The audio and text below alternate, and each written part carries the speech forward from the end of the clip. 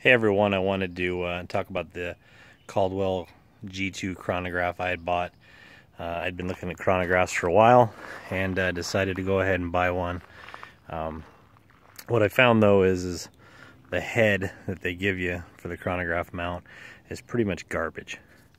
Um, basically, right here on the uh, quick disconnect, it's just too loose and when you have that much length on the chronograph is just pretty much uh, wobbly. You wouldn't be able to hold a, a zero. So I made a few upgrades. First upgrade I did is I bought this swivel head. And what this does is it allows it to ball swivel on there. It's super solid mount. So it's uh, pretty cool, easy to adjust, and it threads right on to the tripod existing mount. So I think it was like 24 bucks off Amazon. You could find cheaper ones. This is a nice metal one, so it would hold up.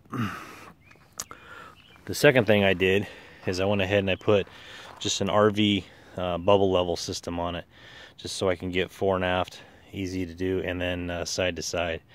Uh, so the cool part, like I said, is you just loosen these up a little bit and then you can adjust any way you want it and it'll come in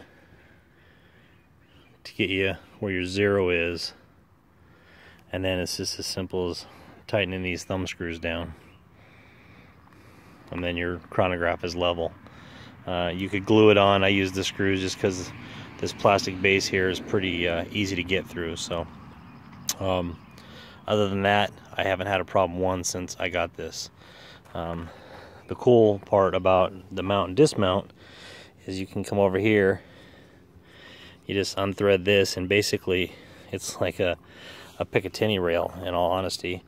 It's just a, a V-channel groove, nice and tight, um, holds it really easy.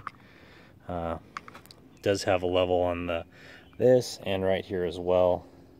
So, not that you'll need them, but you can use them if you choose.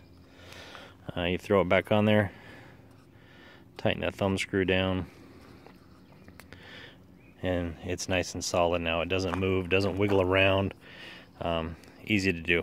I thought I was going to have to buy a whole new tripod, uh, but I like the height of the tripod. It fits in the bag, so um, so that's what I did.